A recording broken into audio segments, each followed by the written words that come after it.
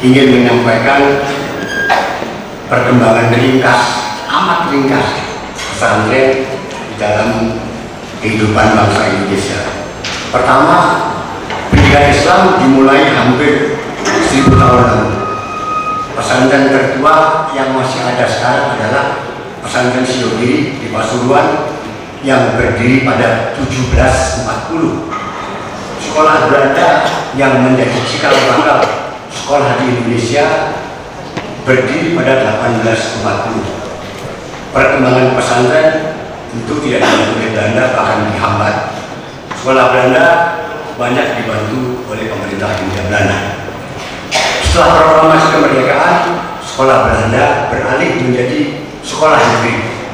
Sekolah swasta juga banyak didirikan, terutama sekolah rakyat. Banyak anak dari keluarga pesantren yang belajar di sekolah negeri dan swasta. Pendidikan nasional berkembang dengan besar. Sekolah negeri punya mutu yang baik karena guru-gurunya adalah hasil didikan Belanda. Pesantren belum diperhatikan oleh pemerintah. Peran pesantren mulai menurun, tetapi para kiai dan santri tetap tekun dalam mengembangkan pesantren. Pada tahun 1951, Menteri Agama Kiai Wahid Hashim dan Menteri Dikbud Pak Bahadur Johan membuat nota kesepahaman yang mengatur berdirinya madrasah dan membuat aturan untuk memberi pelajaran agama pelajaran agama di sekolah negeri. Dualisme pendidikan di Indonesia antara Islam dan pendidikan nasional yang sudah ada sejak awal justru diresmikan dengan adanya apa peraturan satu berkiblat ke Kementerian Agama dan satu yang lain berkiblat ke Kementerian Dikbud.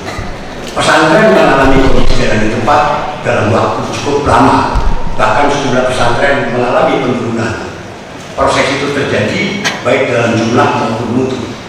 Kondisi semacam itu, kondisi pesantren semacam itu dikritik oleh Bung Karno saat beliau menerima gelar gelar Dr. Handes Kausa dari IAIN Beliau mengatakan bahwa pesantren bisa diibaratkan seperti gudang yang apa karena tidak ada jendelanya. Menteri Agama Desa Jukri menanggapi menanggapi kritik itu dengan jawaban bahwa Bung Karno tidak bisa melihat di mana jendelanya, padahal jendelanya ada. Artinya tidak mudah bagi tokoh di luar pesantren untuk bisa memahami kekuatan dan kelemahan pesantren. Pada akhir 1970-an jumlah pesantren mendekati 5.000. Pada akhir 1990-an jumlah pesantren mendekati 10.000. Terjadi peningkatan dua kali lipat dalam 20 tahun. Pada akhir 2010, pada akhir 2000 apa mendekati 2020 jadi 21 20 tahun kemudian jumlahnya mendekati 29.000 jadi peningkatannya lebih besar. Walaupun jumlah yang dapat adalah pesantren yang kecil-kecil. Ternyata selama 50-60 tahun terjadi proses yang tidak terlihat yang mendorong peningkatan jumlah pesantren dan mutu pesantren pun mulai meningkat. Kini pesantren menjadi pilihan masyarakat di luar komunitas pesantren sebagai tempat belajar putra putri mereka. Banyak pesantren mempunyai sekolah dan madrasah yang baik, sekitar 10 pesantren mempunyai universitas dan sekitar satu pesantren mempunyai sekolah tinggi. Pesantren Tebuiran mendirikan Universitas Hasyim Asari. Walaupun sekolah dan madrasah berinduk pada dua kementerian berbeda, ternyata keduanya tidak bertentangan, bahkan saling melengkapi menurut saya. Kalau sekitar 60-70 tahun lalu kita bicara tentang pendidikan di Indonesia, maka asosiasi kita langsung kepada INS Kayu Taman Siswa atau Sekolah Willem Iskandar di Sumatera Utara. Kini ketika nama itu tidak begitu terdengar, tersaingi oleh beberapa pesantren terkemuka di Indonesia. Bapak dan Ibu yang saya hormati, pada pertengahan 1970-an, Menteri Agama Profesor Mukti Ali membuat program pembinaan pesantren dengan menyelenggarakan pendidikan pendidikan kejuruan tetapi kurang berhasil.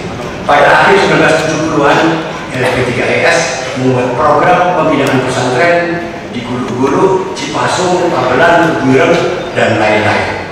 Beberapa pesantren menerima penghargaan kalah karena prestasi dalam melestarikan lingkungan alam. Bahkan beberapa tahun lalu, sebuah pesantren di Lombok menerima maksa Award untuk prestasi menghijaukan puluhan ribu hektar lahan gersang. Pada tahun 1970-an, pemerintah memulai program keluarga berencana. Program tersebut kurang berhasil karena mendapat penolakan dari para ulama. Lalu pemerintah memohon dukungan kepada Kiai Haji Bisi Sansuri, Roes Am Surya PBNU. Beliau mendukung program KB dengan memulihkan program tersebut demi kemaslahatan umat mengikuti pendapat Imam Al-Ghazali. Tentu yang diperolehkan adalah program KB yang sesuai dengan ketentuan agama Islam. Peran pesantren, peran kiai pesantren amat besar dalam berberasanya program keluarga berencana. Potensi pesantren dalam bidang ekonomi juga menarik perhatian banyak pihak. Melihat sukses pesantren Sidobi dalam dan beberapa pesantren lain dalam kegiatan ekonomi membuat BI dan OJK mendorong sejumlah pesantren untuk meningkatkan kegiatan ekonomi mereka yang sudah berjalan. Universitas Asari mengirim tiga sarjana baru yang baru sudah untuk magang di sebuah pabrik sederhana pengolahan buah kelapa menjadi produk yang siap diekspor. Setelah itu mereka ditempatkan di sembilan pesantren yang mendirikan pabrik pengolah buah kelapa dengan bantuan Bank Indonesia. Tetapi dibutuhkan kerja keras dan kesabaran dan ikhtiar menggali potensi ekonomi pesantren. Kelebihan pendidikan pesantren ialah tersedianya waktu yang cukup banyak untuk memanfaatkan potensi santri dan ustaz serta ustazah. Pesantren Kebuiren melihat banyak potensi yang bisa digali untuk menumbuhkan minat dan bakat santri serta ustaz dalam berbagai bidang. Kami mendirikan kumpulan dai kebuiran yang aktif menyelenggarakan lomba dakwah seluruh Jawa. Komunitas fotografi kebuiran dan rumah produksi kebuiran yang memproduksi film cerita dan film pendek. Kami mendirikan pustaka kebuiran yang menerbitkan sekitar 25 buku setiap tahun. Kami juga mendirikan sentra kuliner yang melayani pemesanan makanan. Kami mendirikan BPR Syariah yang selama enam tahun terakhir menjadi bank terbaik dalam aspek return on equity. Banyak pesantren yang lain juga melakukan hal yang sama. Pesantren juga telah menghasilkan banyak sekali alumni yang berhasil menjadi orang dalam karir di berbagai bidang kehidupan, tidak hanya sebagai ustaz atau kiai dan juru dakwah, ada yang berhasil menjadi penulis seperti Ahmad Suhaji, penyair seperti Imron dan Rusmus, aktor seperti siapa Alex Koma, sutradara seperti yang kemarin saya nonton filmnya Nurman Hakim, pengusaha, ilmuwan, eksekutif, swasta, eksekutif swasta maupun pemerintah, politisi, pejabat negara, menteri, bahkan presiden.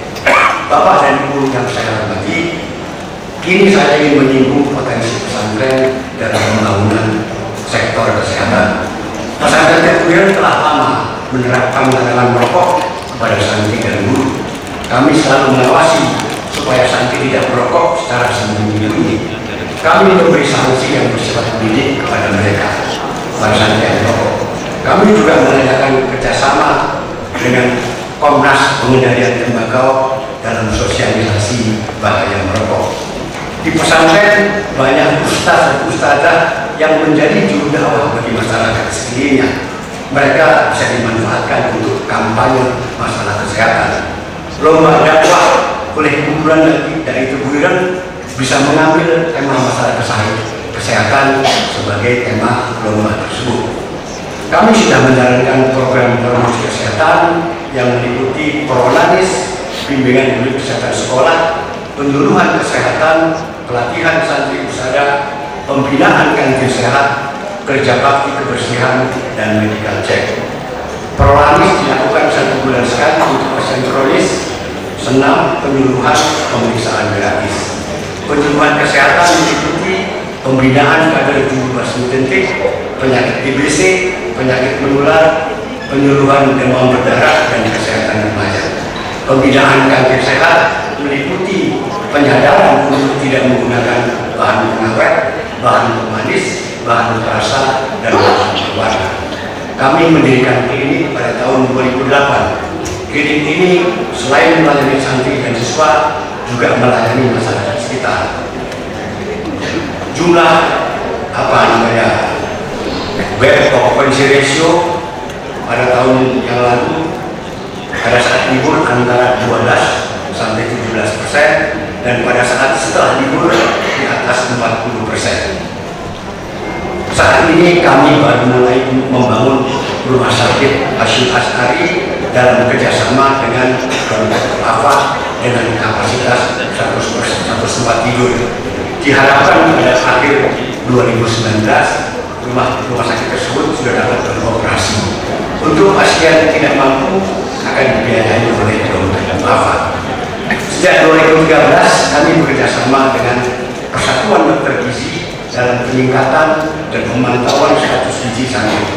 Santri baru diukur tinggi badan dan ditimbang berat badannya. Ternyata jumlah santri baru yang berat badannya di bawah standar di berbagai sekolah dan madrasah beragam. Paling tinggi 12,6 persen dan paling rendah 3,6 persen. Yang berat badannya di atas standar juga tidak banyak bedanya. Tinggi dan berat badan yang di atas dan di bawah standar dipantau setiap bulan. Kami melakukan perbaikan nutrisi sesuai arahan dokter gizi. Kami memberikan pil anemia kepada santri yang membutuhkan. Selain itu kami juga bekerja sama dalam pelatihan gizi TOT untuk meningkatkan pesan peran pesantren TBI sebagai pusat program percepatan perbaikan gizi bagi pesantren lain di Jawa Timur. Pelatihan itu dilakukan di Kabupaten Jombang, Nganjuk, Bojonegoro, Ponorogo, dan Kota Surabaya. Kami juga melakukan penyembuhan gizi di beberapa sekolah Islam di Jombang. TOT ini bermanfaat karena banyak pesantren yang pengetahuan dan kesadarannya masih kurang tentang kesehatan khususnya masalah gizi. Di samping itu, mulai 2018 kami melakukan program pendampingan balita di sekitar pesantren Teguireng, di dusun Teguireng, dalam kerjasama dengan lembaga sosial pesantren Teguireng. Sasarannya ialah balita yang berat badannya di bawah standar.